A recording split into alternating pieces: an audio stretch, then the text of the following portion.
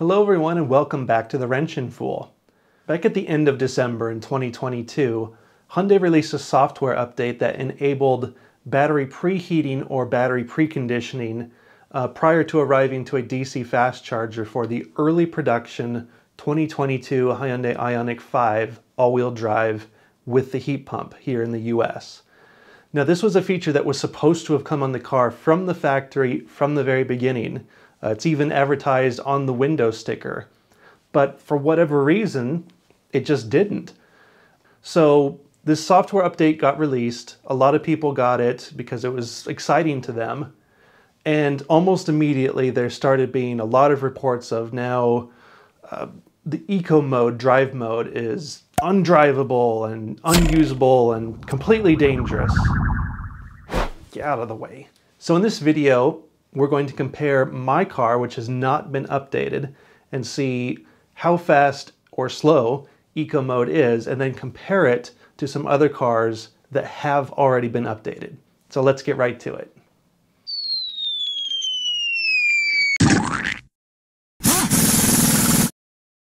So first up, let's get a baseline with my car. So I'll be doing two back-to-back -back runs, just going one direction and then the other direction on the same road, same day, same time, and we'll be in eco mode here. So let's take a look at that.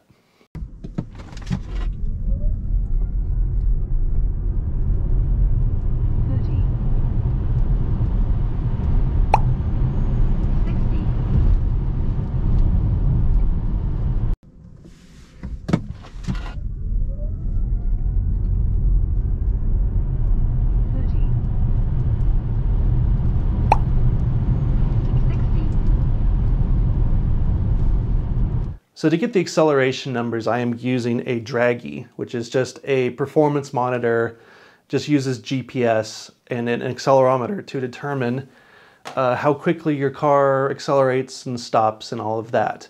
So we can see there, my car, without the update in eco mode, accelerates to 30 in about 3.3 seconds, accelerates to 40 in about 4.4 seconds, and then continues on to 60 in about 7.6 seconds. So now let's compare that back to back with some other cars that have already been updated. Foot flat, nothing, nothing, nothing, nothing, nothing, nothing. There's the power. So it starts delivering that power about uh, 25 miles an hour. All right, so here's level two.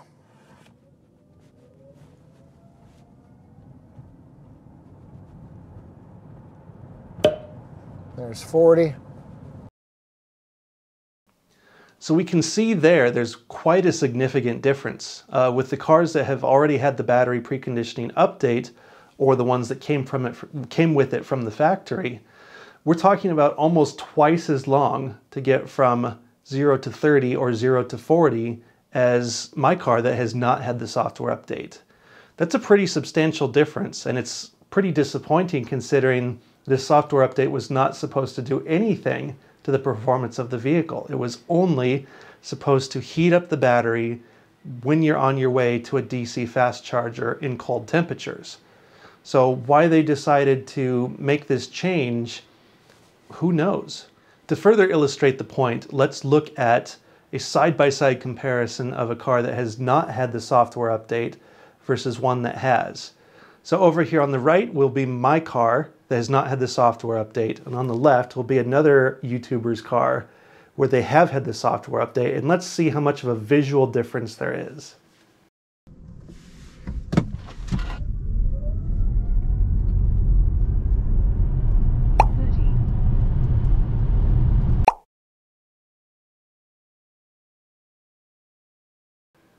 So that's definitely a pretty big difference in acceleration. Now there is one thing that I want to address here. There's been some sensationalizing of this issue where people have been calling eco mode dangerous and undrivable and everything, and I completely disagree. Uh, if we sort of extrapolate out the data that we have here, it looks like the Ioniq 5 with, in eco mode with the preconditioning update is going to do 0 to 60 in roughly 10 or 11 seconds. While that is no doubt slow, uh, I'm not arguing that fact, it is definitely slow, it's not dangerous. The only way that I could see that potentially being dangerous is if you didn't know it was coming. You didn't know that that's what you had to expect from your car, which is going to be the reality for a lot of people who are getting this software update, popping in their car, putting in eco mode, and then suddenly they don't have any acceleration. Now, it's very easy to switch out of eco mode.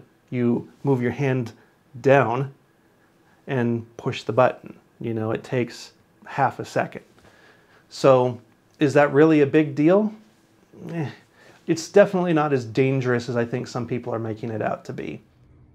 I was just editing the video and there's something I noticed I forgot to mention. My car does not have the battery preconditioning software update on it yet. I'm planning to get it next week. I do have an appointment to do that, but that means that I have not actually driven a car, an Ioniq 5, that has this new software up, update on it yet. I do plan on doing a second video, an update video, with some more actual numbers, acceleration times using my Dragy device, and my own personal impressions. So subscribe to the channel, keep an eye out for that video. But there you have it. You can see the information now. Make a judgment for yourself and let me know down there in the comment section. What do you think? Is eco mode dangerous and unusable, or is it just slower now. All right, that's going to be it for this video. Thanks for watching.